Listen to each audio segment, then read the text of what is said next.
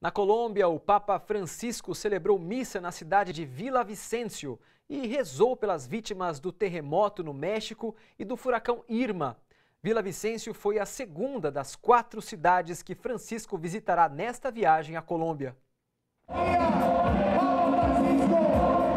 Uma multidão participou da missa campal em Vila Vicêncio, onde mais uma vez o Papa quebrou o protocolo ao descer do Papa Móvel para abraçar indígenas. Na missa, Francisco beatificou duas vítimas da violência que marcou as últimas décadas na Colômbia, entre eles um bispo assassinado em 1989 pela guerrilha do Exército de Libertação Nacional, que agora negocia um acordo de paz com o governo colombiano. Como fez em Bogotá, o Papa defendeu a reconciliação e a necessidade de abandonar o desejo de vingança, uma referência aos que se opõem aos acordos de paz com as guerrilhas, como o que já foi firmado com as Farc, inclusive com o apoio do Vaticano.